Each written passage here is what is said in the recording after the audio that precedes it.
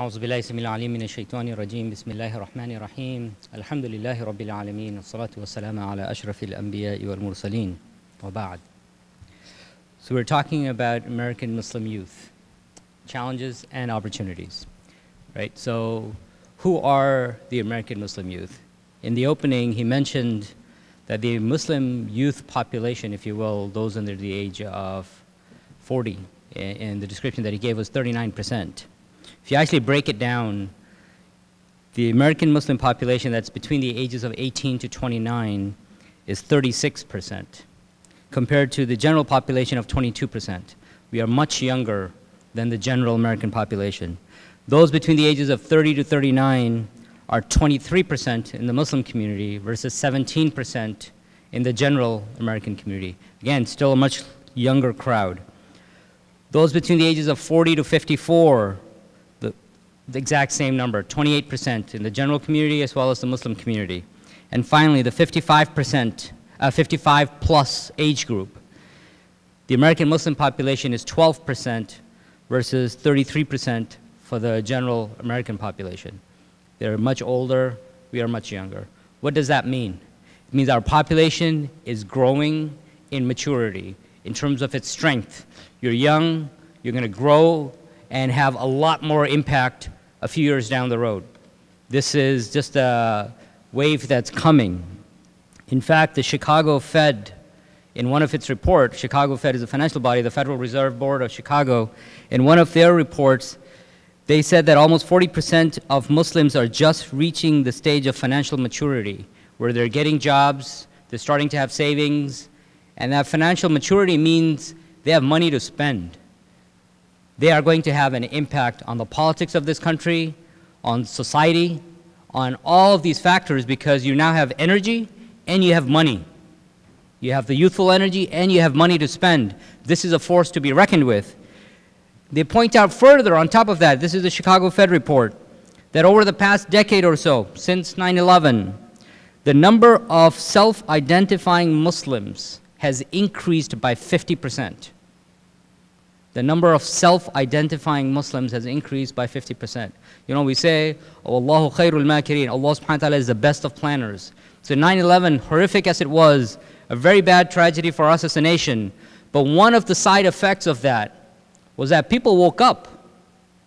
Young people woke up. It wasn't enough prior to that, maybe you're just sliding along and saying, you know what, I'm cool, yeah, I'm Muslim, I'm kind of Muslim, not really Muslim, it's all cool, it's all good. But after that, you were put on the spot. Spotlight's right on you. Hey man, why are you doing this? Why are you praying in public? Why are you wearing that hijab? At that point, you have to make a decision. Are you or are you not a Muslim? And the number of people self identifying and said, Yes, I am Muslim, increased by 50%. Alhamdulillah. These are all very positive trends. That the number of young Muslims is on the rise, both in terms of numbers and in terms of its strength financial and otherwise. But at the same time, our youth face a lot of challenges, a lot of challenges. So in a study conducted by the Family and Youth Institute, which I am affiliated with, they identified challenges that Muslim youth are facing. This is surveys given to Muslim youth themselves across the country. And they identified four main areas of challenges. One, lack of support.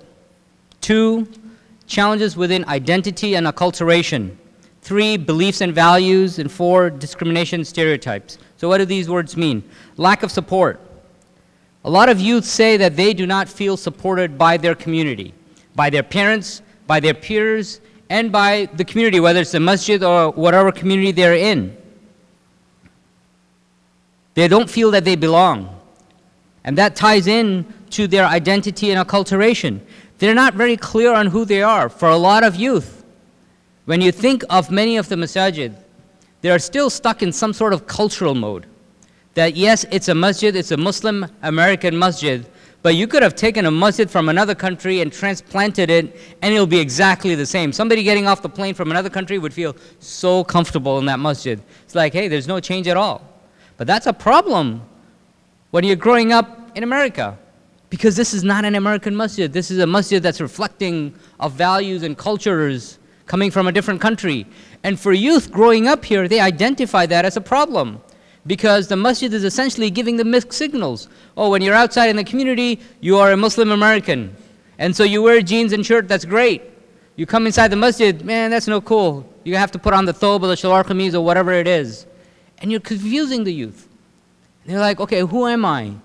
And there's so much pressure to conform sometimes within your local community from the masjid itself and sometimes from the parents.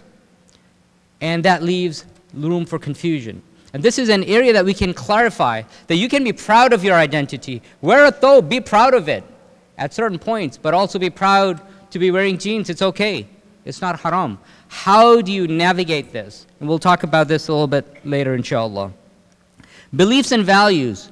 One of the challenges that we have going forth is that while we have an increasing number of youth who are self identifying as Muslims, the religious literacy of the Muslim population is still very low. Religious literacy meaning understanding the basics of the deen, understanding what are the foundation and the pillars of our deen. And this is really important because you know you may go through Sunday school and I mean, how many of us have gone through Sunday school and you ask you, you know, what are the three things you learned? And you're like scratching your heads, like, I don't know. I mean, we got beaten up a lot, but beyond that, you know, we had to memorize a few surahs and but didn't really get much out of it. And then you get to high school, you get to college, and you're taking some philosophy class, and somebody's challenging you with some good questions of Does God exist? And putting, well, is God so strong that he can create a rock that's so big that he can't lift it himself? And you're like, ah, oh, how do I answer these questions? These are good questions. We should educate the youth to be able to answer them. But the religious literacy is very low. And therefore, whenever challenging questions come up, your belief gets shaken. And it's very easy to move you. That's move you from a religious side into non religious, as well as within religious understanding. You have different types of understanding of Islam. We acknowledge that. There are people who have more this type of understanding, people have different types of understanding. You have different shuyukh who espouse different ideas, which is fine. Sometimes, you know, you've got a wide variety of opinions within Islam. But how do you identify and move along as opposed to constantly jumping from one area to the other and you're going to the most popular sheikh of the day? Right? It causes more confusion. Identity. Who are you? Where are you? Where are you going? What are you about? These are things to be solidified. Finally, discrimination and stereotypes. Youth point out in the study that they face a lot of discrimination. They face stereotyping, and we all would say, yeah, obviously, especially now with Trump coming on board, this is just going to increase a lot more. That people are going to pick on you because of the way you look, because of the way you dress, because of the way you act, the way you behave. And they're going to stereotype, even if they know better, especially with the new administration coming on. So these are challenges. What do these challenges result in? Again, a couple more studies by, done by the Family and Youth Institute. The number of young people who, are, who said, self identified, nobody forced it on them, anonymous surveys, self identified, they consumed alcohol in the past year 46%.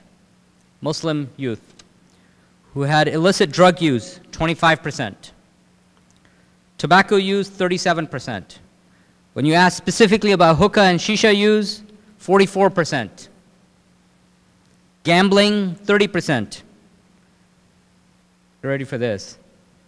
Premarital sexual activity, 54%. If you're getting pushed around, you're not clear on your own religious values, you're not clear on who you are. Somebody comes along in college and high school and says, hey, let's try this. Want to try a joint? It's really cool, makes you feel good and you don't really have a good connection because you lack that support from the masjid, you lack that support from the parental group or a peer group, you're like, yeah, this is my friend. He's offering me something. He says, hey, let's go out to this particular place or do something else. You're like, yeah, of course, he's my friend. This is your guiding light, essentially. And when that guiding light is taking you in these places to do all these activities, you're going to go along. So it comes as no surprise that when your foundation is weak and you don't have that support, whenever a challenge occurs, you will go in the path that you are put in. All right, so that's all uh, negative, downward stuff. What are the protective factors?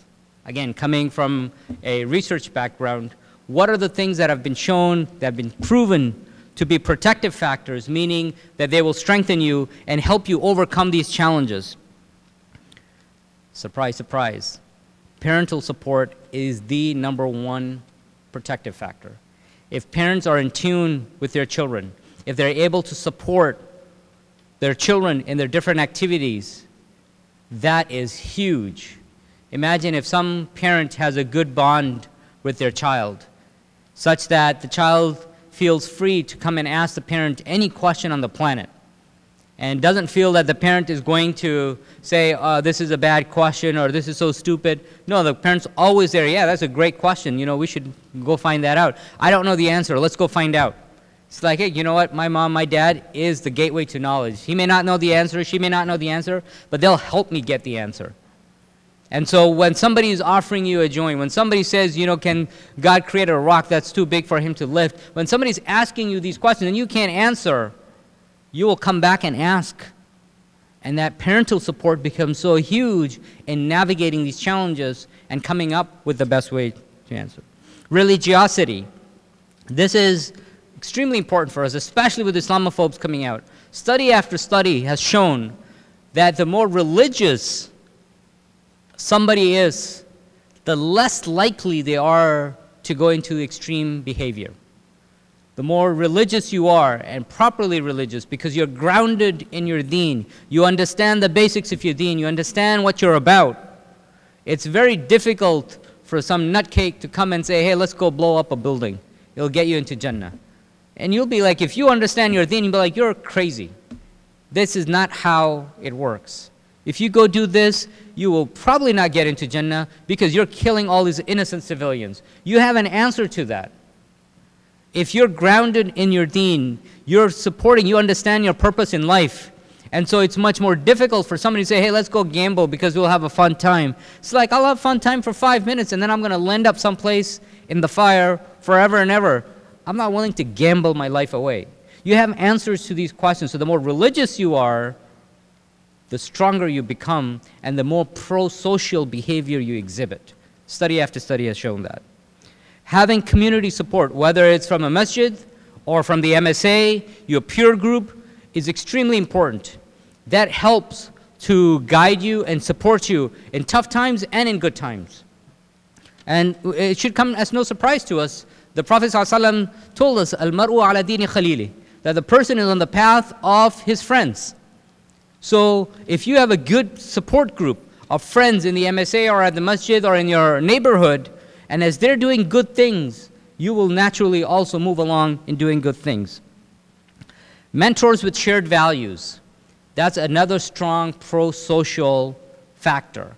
That if you have a mentor or a guide, that can be a halaqah leader at the masjid, can be the guy who's running halaqahs at the MSA, or some uncle or ammu or, or a khala that you know, that you trust, because sometimes it's hard, let's face it, it's hard to go ask your parents questions. You know, uh, sometimes the questions might be sensitive, you're shy, uh, it's awkward, whatever the issue might be.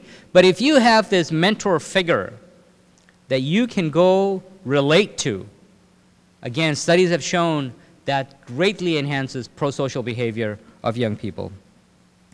Having safe places is another factor of pro-social behavior should come as no surprise that if there's a place that you can go hang out where you won't be judged, it's like, all right, you know, your pants are too high or hijab is on in a wrong way or, you know, you've got makeup on versus you've got your haircut is a different kind. Of, if people are constantly judging you, yeah, I, I don't want to go hang out there because I just get yelled at every time I go someplace.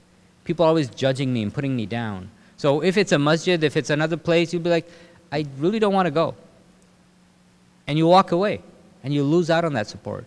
As opposed to if you have safe places where the masjid is wide and open and welcoming, that you know what? You are who you are.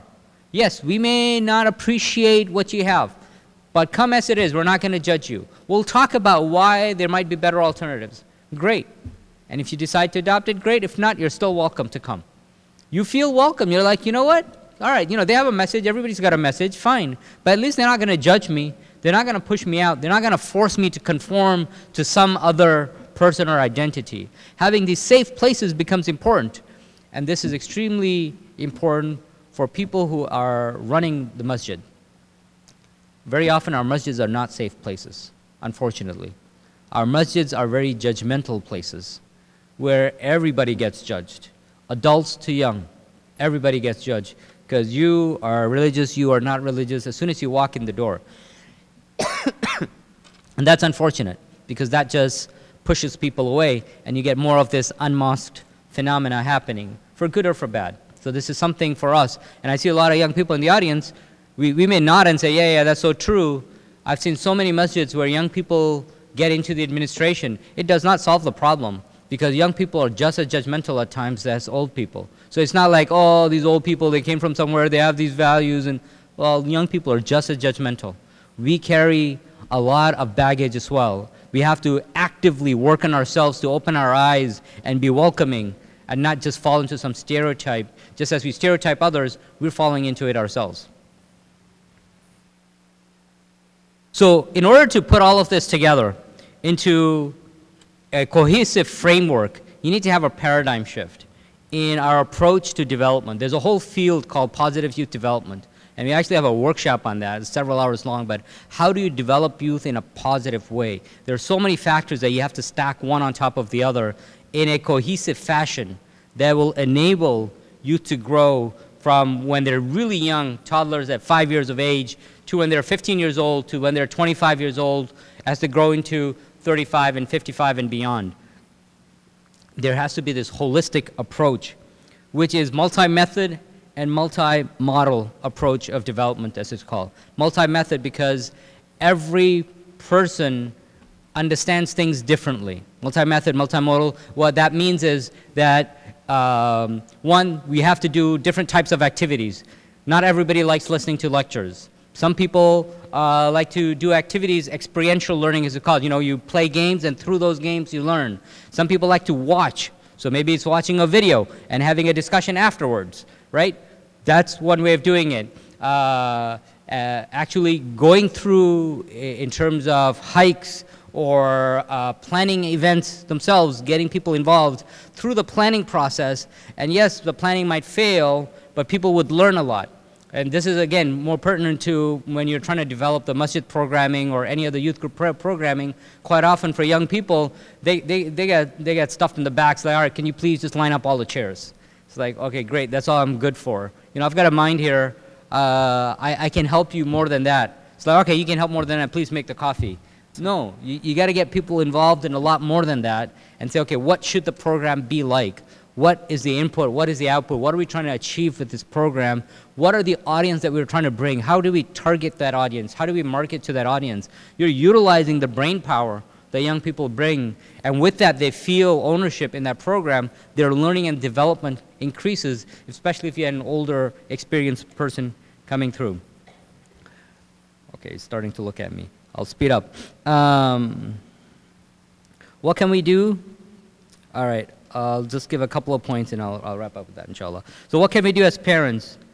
Uh, there's a whole uh, parenting series of workshops going on.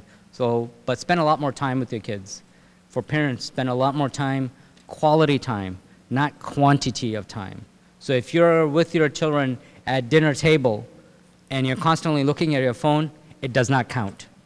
All right? So you have to have rules of from 5 to 8 p.m., no devices. Everybody puts their device in the drawer and put it away. That's it. Doesn't matter who calls, doesn't matter who texts. This is family time.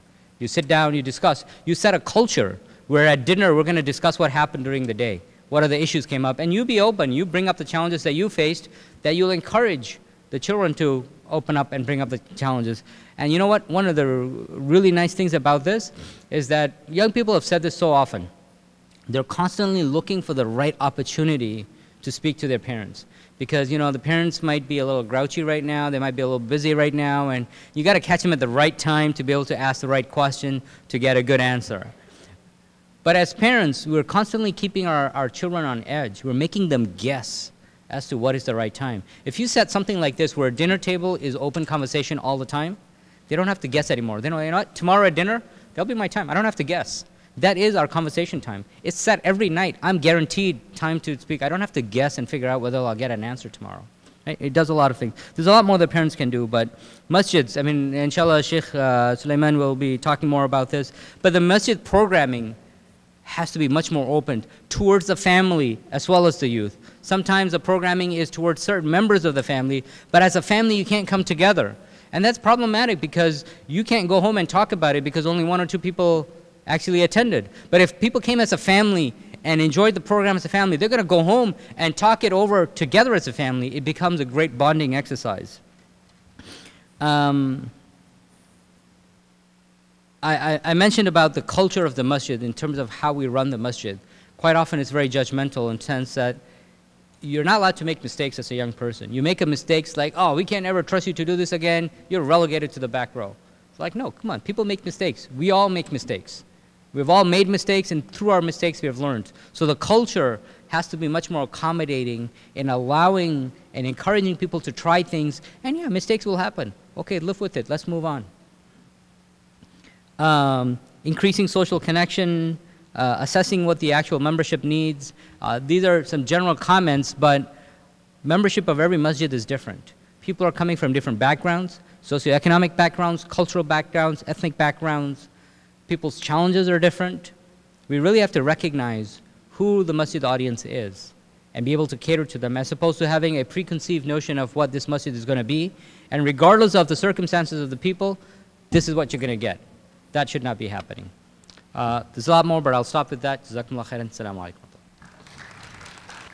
So first, a uh, quick summary, because there's some questions asking about resources. What resources can you use for different things, whether it's for youth programs or for families or for anything else. So as I mentioned, I'm with this organization called Family and Youth Institute. If you go to our website, thefyi.org, thefyi.org, um, we have a bunch of resources that you have that you can use online. You can get onto our email list where on a daily basis we send out different articles, different things that you can use.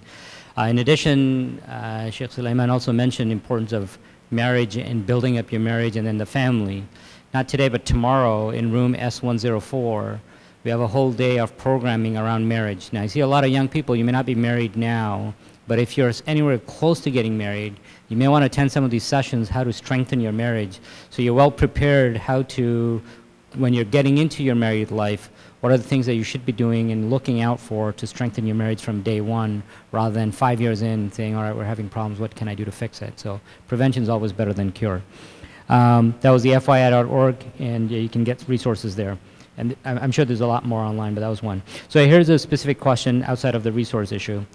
How best is it that youth mentors or directors can encourage non-judgmental atmospheres in a masjid without crossing the line of haram?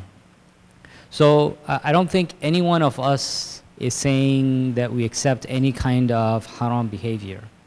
Uh, that's not we're, we're saying. We're not encouraging any kind of sinful or haram behavior, whether it's inside the masjid or outside the masjid. It doesn't matter. Haram's haram. You, you don't act one way outside and you act one way inside. But the point of non judgmental behavior is that somebody might be behaving differently than what you're used to. Just because they're different doesn't mean it's wrong. Just because they're different doesn't mean it's haram.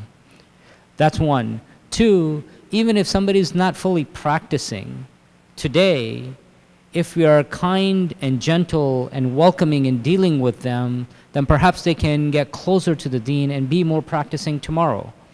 But if we are harsh and strong handed and we push them away, there's no way they're going to get closer to the deen. So, one important way for us to be welcoming is to understand and recognize the different circumstances of those outside of our own inner circle. We might be very familiar with the way that our particular uh, subgroup dresses, for example. Somebody dresses in a different way. But if you've never actually known about it, if you've never seen it, then the first time you see it, you'll be like, huh, that's weird. And then you'll be left with a question. But the more you open your eyes to the different ways that people around you do things, you won't be shocked anymore. If they had just traveled the world, she can probably tell you a hundred different ways of sisters wearing hijab right? So it won't shock her anymore because she's seen it. But somebody who sees it first time is like, is that legit? I mean, is that is that okay way to wear hijab? Well, unless you're actually exposed to something like that, or you think about it, and you actually internalize it, That's when you become much more open minded. It's the exact same answer when we tell people in rural America that Muslims are not terrorists. All you have to do is what? Get to know someone, get to a neighbor, understand more. It's the same thing applies to us. That when we're so judgmental against each other, the answer is get to know the other party, understand who they are, even if they're not physically close to you. That would be one very important way to start having a non judgmental atmosphere in the masjid, where the masjid uh, leadership actually holds programming where you're educating the members on so many different ways. Coming from a fiqh point of view, say, you know what, this is the way we do things in the masjid, but there are five other fiqh opinions that are acceptable. So if somebody comes in and starts doing something, don't jump on them. That is opening their minds. The fact that you have different types of food, clothing, different activities, that also will, will be helpful. Um, having joint programming with other groups, having joint programming that does different types of activities, as long as you have the backing of the masjid leadership, that's important. You can really do that. Having a movie night at the masjid is, to me, is really important because it really breaks a lot of stereotypes because a lot of people are still in the mode of, especially those who might especially those who might come up and say it's haram, they're the ones who come up and say the movies are haram and music is haram and all of this. And so everything that leads from it is haram.